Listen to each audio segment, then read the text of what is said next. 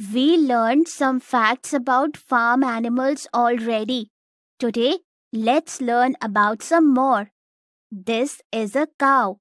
C O W cow. The sound a cow makes is moo. A group of cows is called a kine. They live in a cow shed. Cows can drink 30 to 40 gallons of water per day. Cow helps farmers to plug the farm. Oh, we have so many cows in a farm. This is a horse. H O R S E, horse. The sound a horse makes is neigh.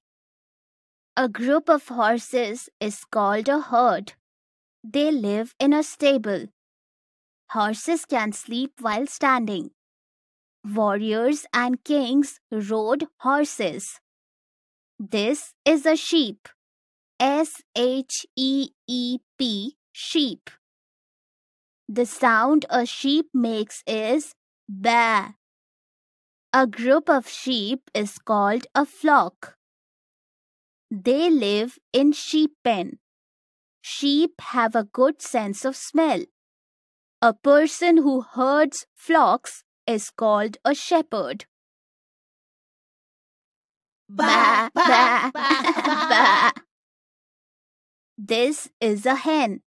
H E N, hen. The sound a hen makes is cluck.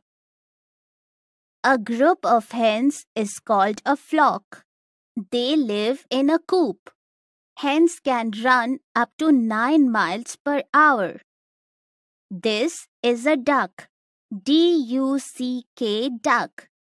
The sound a duck makes is quack. A group of ducks is called a raft. They live in ponds. Ducks have waterproof feathers. This is a goat. G O A T, goat. The sound a goat makes is bleat. A group of goats is called a herd. They live in a shed. A goat is the first animal to be domesticated. Hope you had fun learning about different farm animals. Thank you, Arju, for sharing information about farm animals. Bye. Bye.